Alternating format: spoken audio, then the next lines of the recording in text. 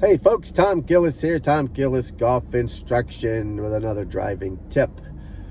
Little tip about practicing on grass or mats or what to do about that. And people are afraid to use mats. Now the mats are getting better and all that. Um, some of them are bald and gross, but most of them are getting better and have some cushion to it. I'm not afraid of practicing on a mat but I always carry tees with me. So I'll have tees, one long tee for driving and one shorter tee for hitting off the mat and doing my drills. Um, so I'm just barely off the mat a little bit, the tee is. I carry it with me. It's in my golf bag. I always have it and my driver one because I don't want to search for um, for those rubber tees. So grab a couple. You can buy them online somewhere. Grab them from the range, whatever. I didn't say that, but you know what I mean. Get a couple. Keep them with you and bring them your own. You know, that's what I do.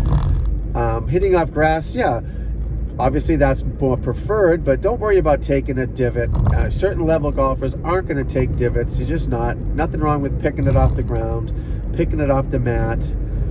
But uh, you know, when you're when you're first learning, use that tee. Use a small tee off the ground to help you, so you're not lifting it off the ground or or you know, just make it easier. Do drills, make it easier. Hit some off the ground, hit some off the tee. Alternate. You know, do a little bit of both. But you go to the driving range on, on the big big leagues, they're hitting off the tees too, okay? They are. They're, they're not all of them, but they are. When they're working on something, trying to get better. And a drill I used to do is I used to like to tee it up really high with my driver, and that used to help me hit up on it more and get that ball launching and uh, less spin and, and taking off. So a high, high, low spin bomb, you know, that's what we want. So, but don't be afraid to use the mats. And, and some of these mats have better cushion on them now, so you know, obviously I don't want you to hurt your arm. You don't want to whack the mat either, you know. You're trying to clip the ball right off it using the bottom of the club, the bounce of the club and all that.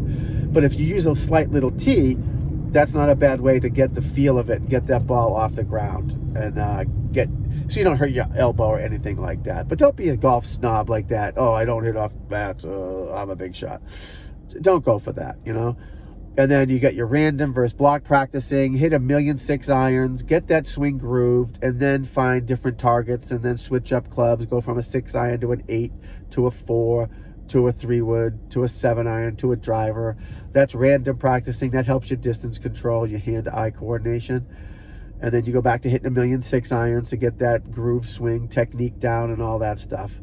Whether it's on a mat or off grass, don't be afraid to uh, to do that. So that's my short tip of the day. Don't be afraid to hit off mats. And if you are, use a short tee.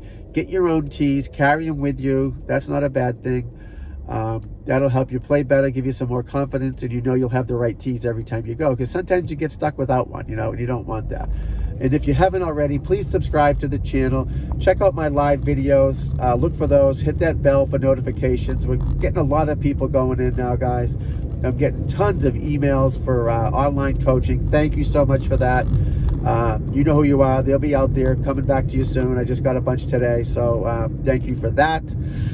Uh, again, subscribe, hit the like button, share it, all that stuff. Uh, check out the other videos for more good content on how to help your game. Check out my live shows.